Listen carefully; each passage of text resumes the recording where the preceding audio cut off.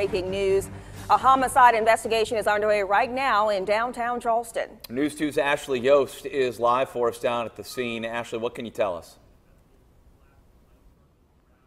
Brad, as the sun starts to come up this morning, we've got people coming out of these houses to my left headed to work. We're right off of the crosstown. As you can see behind me, the car starting to build, people doing the same headed towards downtown to work. But I want to walk you over this way. This is where police just recently had it blocked off at the corner of President and Kennedy. Look at police out here early this morning. We have video of when we first got here. There were City of Charleston detectives out here in the road.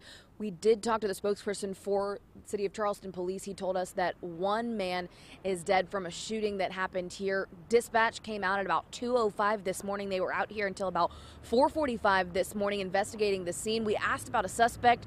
They don't have any word on a suspect right now. Obviously, still under investigation, looking for more information on that. We're going to continue to follow this throughout the morning.